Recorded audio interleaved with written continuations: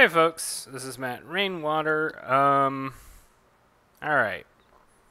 Let me give you all a little bit of setup for this video. I am working on an illustration that I'm trying to make before next week. I don't even...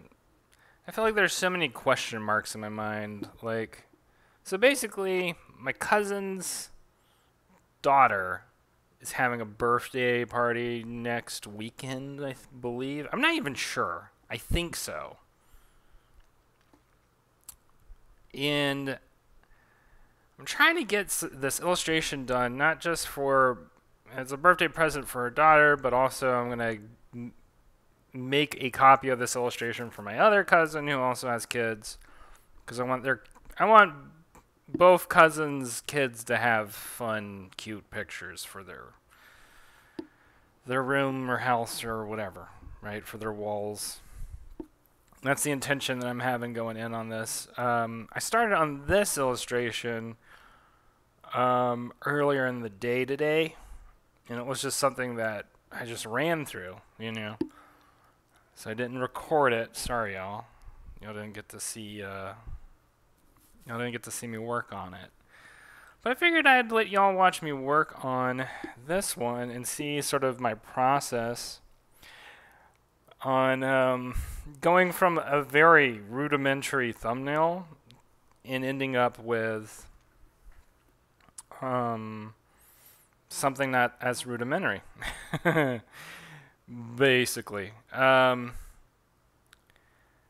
part of it also, so here's the other thing about this illustration. I'm kind of building it bit by bit. I'm kind of doing this thing where I'm like, ideally, if I somehow manage to have the time to do this, and I don't really know if I am, but ideally, I'd like to have like a whole band, like a raccoon band, a country raccoon band. That's the idea. Playing on a front porch, and uh, it feels ambitious. I'm not gonna lie. This has been a, a common theme throughout all these videos is me talking about how ambition can be can be one's undoing. so we'll see. We'll see how far I get in this. I've sort of I set an idea in my head today like, you know what, Matt? If you only get these two raccoons done, I think you'll be okay. You can have a banjo raccoon and a guitar raccoon on the front porch, some some kind of country front porch. And that's a that's an illustration that's done. But I'll show you. Um, yeah, let me show you. There was another one. There's a couple animals I wouldn't mind having in this illustration if I can. Um, yeah, you know, like, what about a raccoon playing the jug? What if this Blues Brother-ish looking bear was playing the harmonica? I have another raccoon playing, um, what do they call that? The scratch board or whatever. There's this a fox. You could be doing something. I have ideas. That's all I'm saying. I have ideas. uh, so, I just figured tonight, you know, I was like, well, I got to get started. I have from some free time. I'm in this place right now where I've put in my work for Trailer Park Warlock and it's all the work that I'm really willing to do today because I don't really want to um, push myself too hard on it.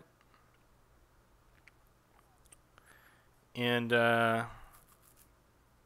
I was like, well, if I still have some creative juice left, because after I worked on Trailer Park Warlock, I then went for a walk and then made hummus.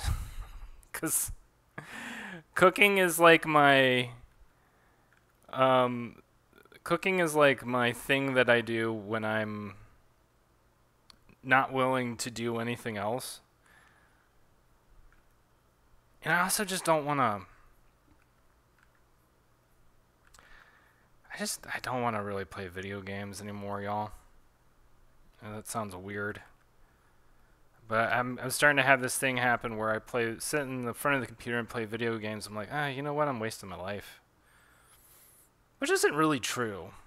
Um, it's funny because I don't feel that way when I go see a movie or read a book or go for a long walk in the sunshine. But I feel like that's a net good. You can't, I feel like you cannot, that's an inarguable good in my mind. That's how I feel about taking a walk in the sunshine. You could, that could be the only thing you do in your life, and that's living your life correctly, I think. But maybe that's just a, maybe I have a bias. But uh, my whole point with all that my whole point with that is that I just don't doesn't it doesn't feel good to play video games anymore. Or at least right now. Maybe that'll change. I don't know if it'll change, but maybe that'll change.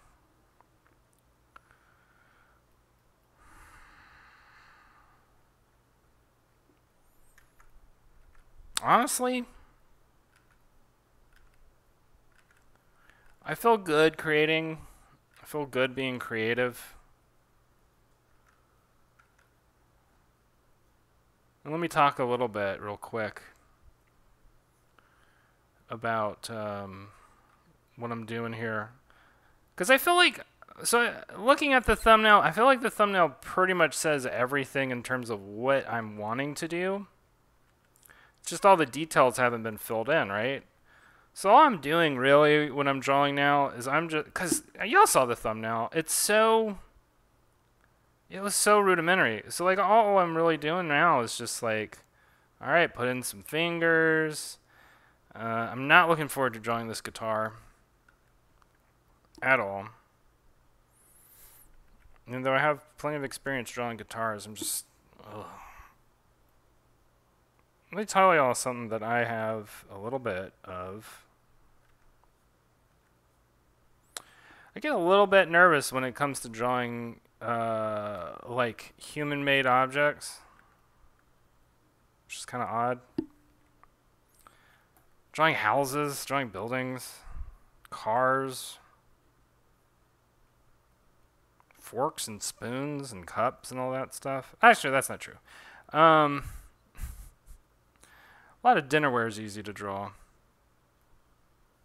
It's pretty basic. But guitars are a little bit complicated. So I have to simple, and you know, this is a children's illustration.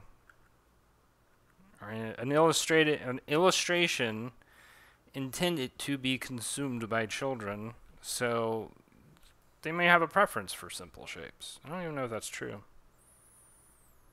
But that's societally imposed, maybe.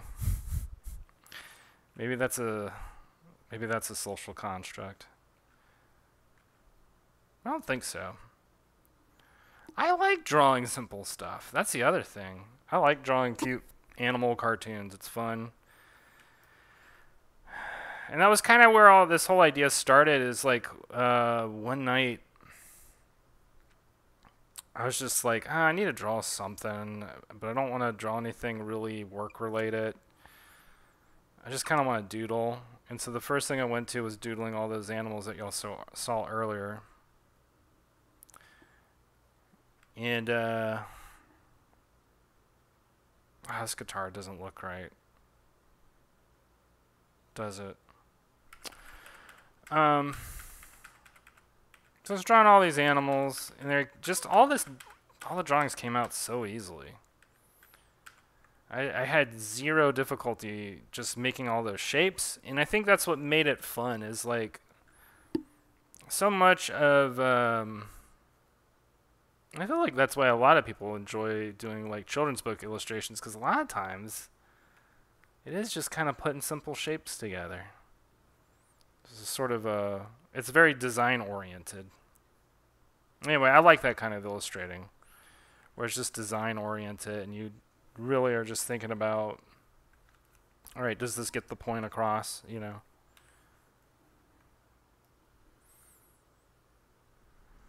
All right, so I'm gonna, yeah, that's better, because I want the, I want the guitar to look a little more like it's facing upward.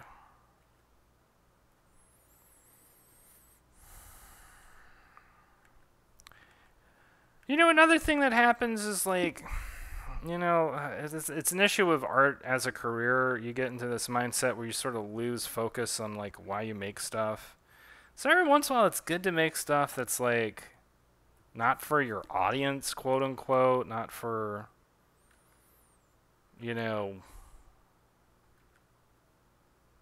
for building your your readership or whatever it is that you're trying to do sometimes it's just nice to make make some art for your family.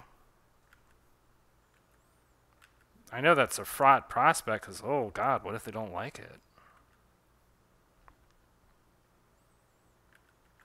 That can happen.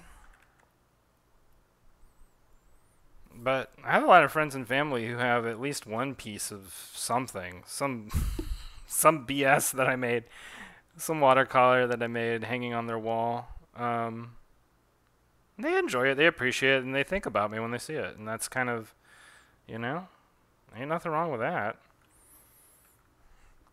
Growing up, uh, my parents had a painting by my great aunt. Her name was Aunt Iva and she would do these lands like Bob Ross style landscape paintings, and you know she'd give these paintings to family members as a present, you know, and so like everybody in my family had at least one of Aunt Iva's paintings. And so you know now she, now that she's passed away, she's she's passed away many many many years ago. Um, I still think about it when I see her paintings. The good and bad, because she was she's an interesting person. she's a little bit of a live wire, but um, but I think about it when I see those paintings.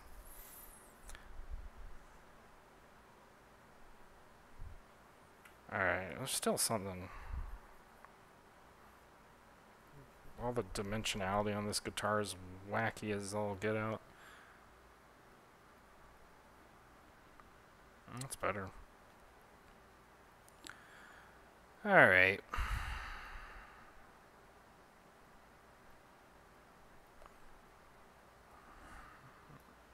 Um... That looks pretty good for the drawing. Let me, I'll go, we're going to end this video in a second, but I do want to show y'all something real quick.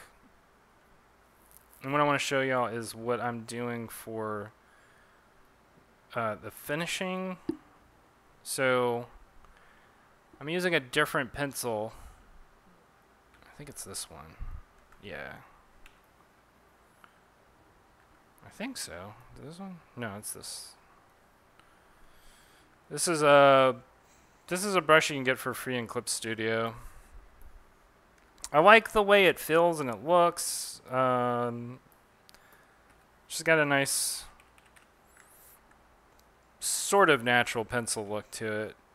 But I like how it, it it's very like, oh, it's thick and then it's really thin.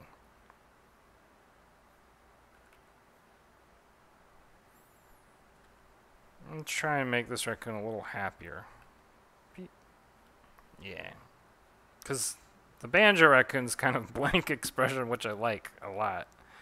Um, but originally I was like, well, maybe all these characters will have blank expressions, but then I was like, ah, maybe not. Maybe that's not a good idea. Um, so anyway, as y'all can tell, I'm trying to go for a very like natural watercolor look, which has been something that I've been wanting to do for a while. Um, as an illustration just to you know uh, what it is is like I just see people who do watercolor illustrations, and I think they look so good, and I'm like, oh, I want to mimic that. I want to, I want to be, I want to be that good at that. And it's actually very hard to do. Um, it's not. I'm not. not good at it at all.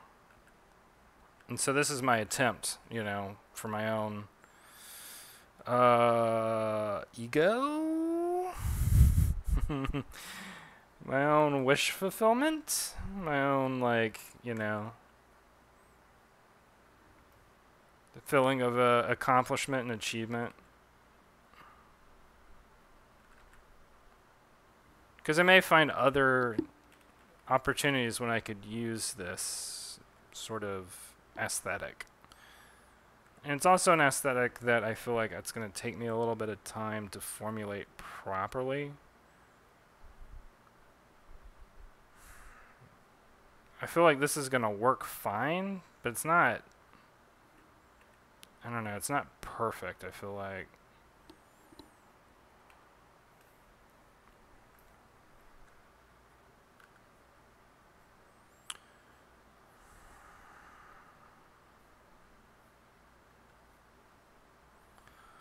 So my intention is with these next couple of videos, um, I will just show you all my progress on this illustration from beginning to end. And um, I hope to do, I'd like to do like three more characters before I do the background. And then do the background. That is the goal.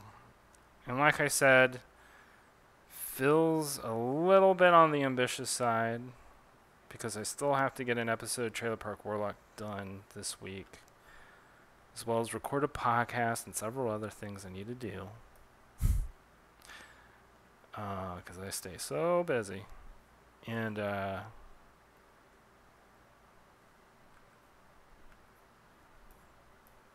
yeah, pray for me.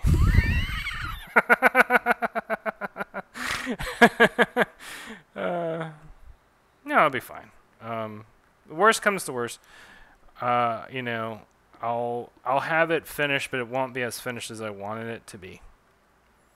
And I'll just have some leftover illustrations that uh, you know I can share with y'all.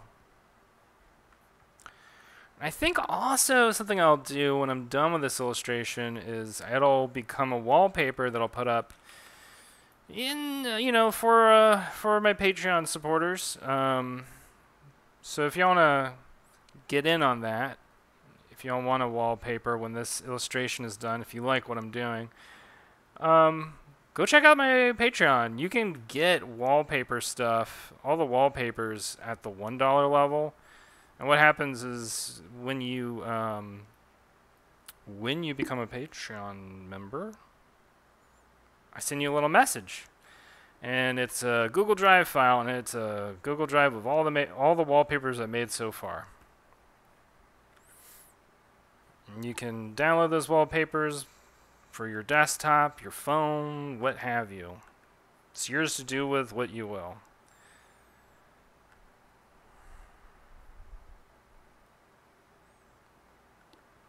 And there's another level uh, the level after the $1 level that gives you access to the progress shots, which gives you allows you to see stuff I'm working on ahead of everybody else. And um, and then the $3 level is all my ebooks. But one dollar is a pretty good value because you not only get the wallpapers, but you also get um, you get to watch these videos ahead of everybody else by a good chunk. So anyway, that's what I'm doing. That's what I'm doing over on Patreon. And uh, maybe. Woo. All right. I kind of want to leave y'all. so I could do this guitar in peace because I think I'm gonna change a couple other things. Also, one last thing before I go, I'm gonna fix. I feel like these, these fingers are a little too fat compared to the other fingers. Um, So I'll do that real quick before I leave y'all. All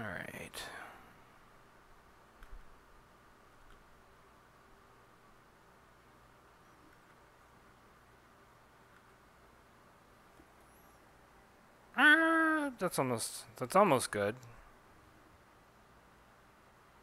Mm, all right.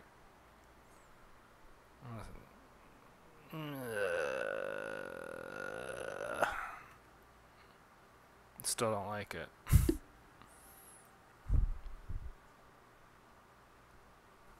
That's better. Uh, maybe if, like, maybe it's this finger that's too thin.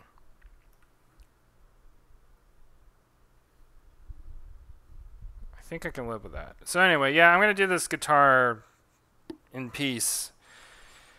Y'all leave me now, that I may do what I need to do. And I'll talk again with y'all soon. Y'all have a good one. And later. Bye.